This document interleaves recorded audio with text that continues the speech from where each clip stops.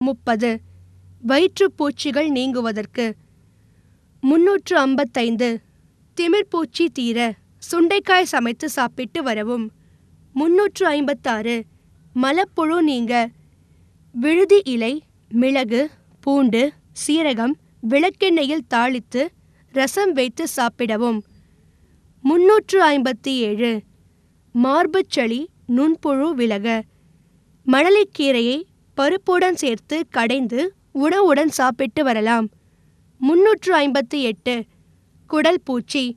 மாங்கொட்டை பருப்பை காய வைத்து பொடியாக்கி ஒரு சிட்டிகை தேனில் குழைத்து ஒரு நாள் இரண்டு வேளைக்கு கொடுக்க பூச்சி அகலும்.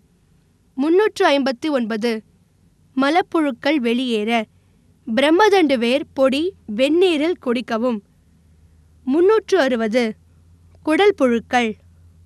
மாதுளம்பழம் படுக்கைக்கு செல்லும் முன் சாப்பிட புழுக்கள் அழியும். முன்னூற்று அறுபத்து ஒன்று. குடல் புழுக்கள் அழிய. மாதுளம்பழம் சாப்பிடலாம். முன்னூற்று அறுபத்தி இரண்டு. வயிற்றுப்பூச்சி அழிய. வெங்காயப்பூவை அடிக்கடி உணவுடன் பயன்படுத்தி வரலாம்.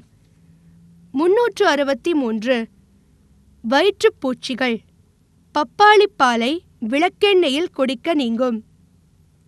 முன்னூற்று அறுபத்தி நான்கு. வயிற்றுப்பூச்சிகள் ஒழிய அன்னாசி பழம் தினம் சாப்பிடலாம்.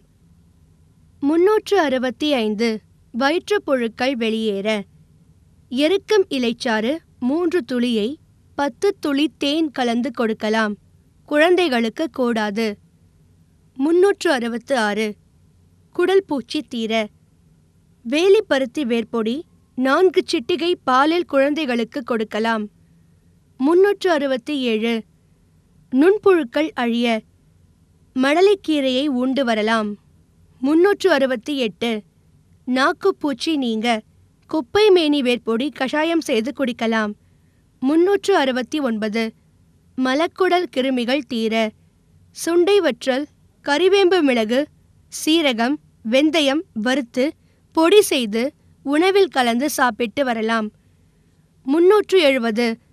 மலக்கிருமிகள் நீங்க.